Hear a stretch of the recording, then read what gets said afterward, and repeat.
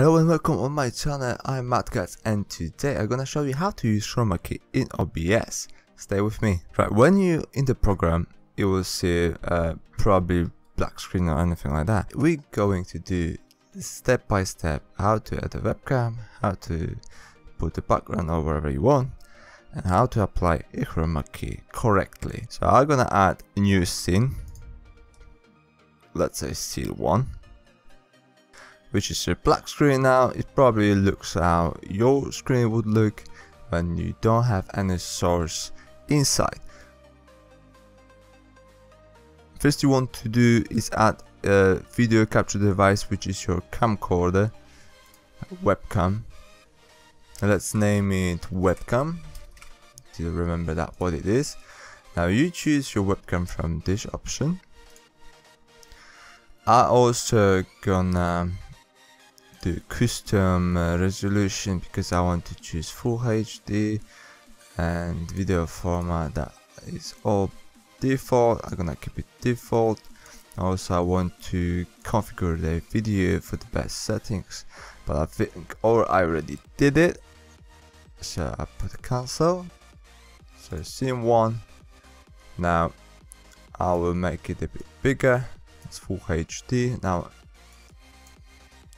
device custom. I prefer custom because I can set my resolution and I can set anything as I want. Now of course full HD make it a bit too big but that's fine. Now as you see you can only see uh, me everything what this camera picks from the room I record. Uh, even my ironing table, uh, my clothes, everything that we don't want.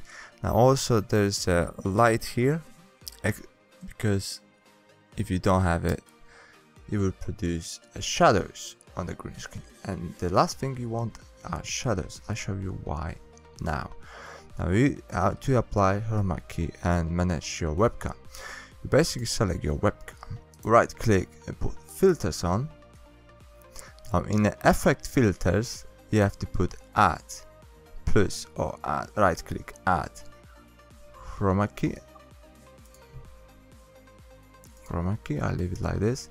Now it automatically goes to green color. You can choose green, blue, magenta or custom any color you want. Let's say green. Now as you see here, I have a shadow that I don't want because it will destroy background image, video, anything it's in there. So I have another source of, source of light which is LED for batteries. Look, I light it up a bit, it's not fully up. The shadows disappear, that's what you want. You want to light your green screen as much as you can. The green screen has to be the same everywhere. Now we basically move this similarity to the point where uh, there are no green edges on your body or anywhere. So I set it like here. That's good for me. Smooth.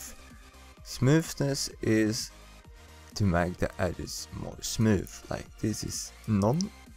You see that sharp edges. I show you that here. Sharp edges. We don't want that. So I put it smooth to the bit to the right. That's okay because when you put it more and more, then it's gonna shit your screen. That's not good. So I leave it like here.